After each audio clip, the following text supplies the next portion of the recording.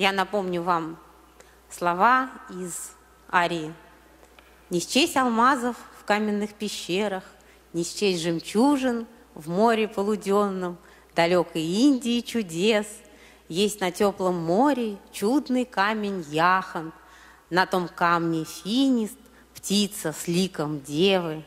Райские песни сладко распевает. Кто ту птицу слышит, все позабывает. Не счесть алмазов в каменных пещерах, Не счесть жемчужин в море полуденном, Далекой Индии чудес. Это песня индийского гостя из оперы Садко римского Корсакова в переложении для инструмента домры.